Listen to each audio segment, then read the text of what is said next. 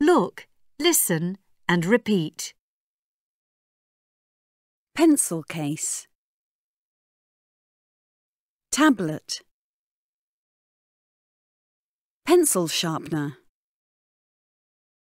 Notebook. John, how many pencil cases have you got? I've got two pencil cases. And how many pencil sharpeners? I've got three pencil sharpeners.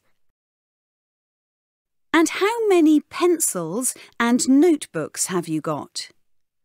I've got six pencils and four notebooks.